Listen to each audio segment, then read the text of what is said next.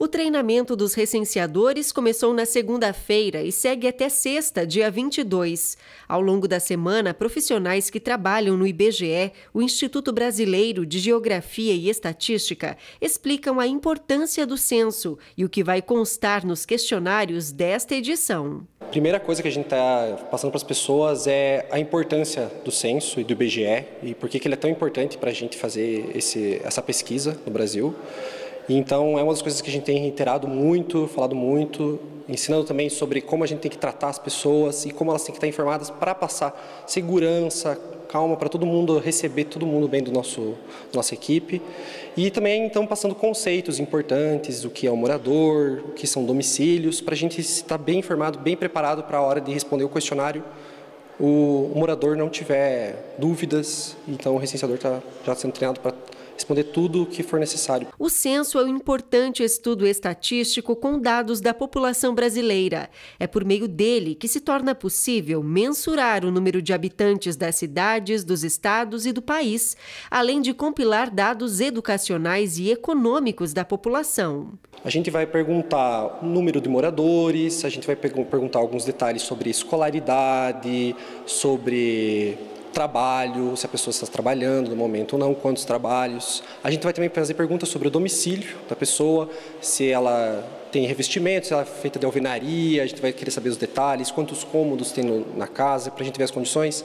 Além disso, a gente também quer saber se tem acesso à rede de esgoto, a saneamento, então porque isso é importante mais para frente para a gente saber se tem uma região precisando né, de de saneamento básico. O trabalho dos recenseadores nas ruas da cidade começa oficialmente no dia 1 de agosto. A expectativa é que todos os questionários sejam aplicados aqui em Pato Branco até meados do mês de novembro. Inicialmente, 40 recenseadores vão fazer esse trabalho, mas há possibilidade do chamamento de mais pessoas para dar sequência e agilizar todo esse processo. É importante que os moradores fiquem atentos. Os recenseadores estarão identificados com colete e crachá, onde consta um QR Code. Os recenseadores vão estar equipados com o colete, eles vão ter um crachá visível para eles, para a gente notificar.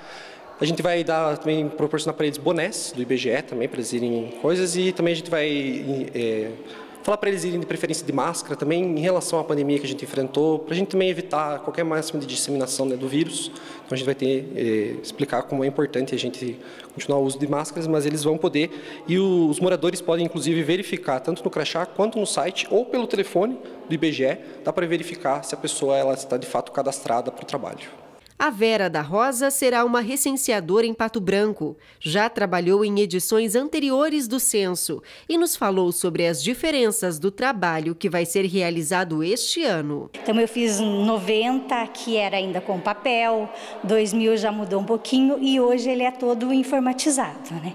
Então a gente está aprendendo, são ferramentas novas, né? Então uma semana inteira a gente está fazendo esse treinamento e a expectativa é muito grande, né? Porque o último censo foi feito em 2010, então muita coisa mudou de lá para cá. Né?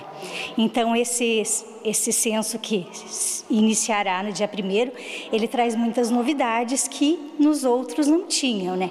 É, no questionário desse vai ter contabilizar os autistas, né? as crianças autistas, que a gente ainda não tem é, informações sobre a quantidade, né? então nesse censo vai constar.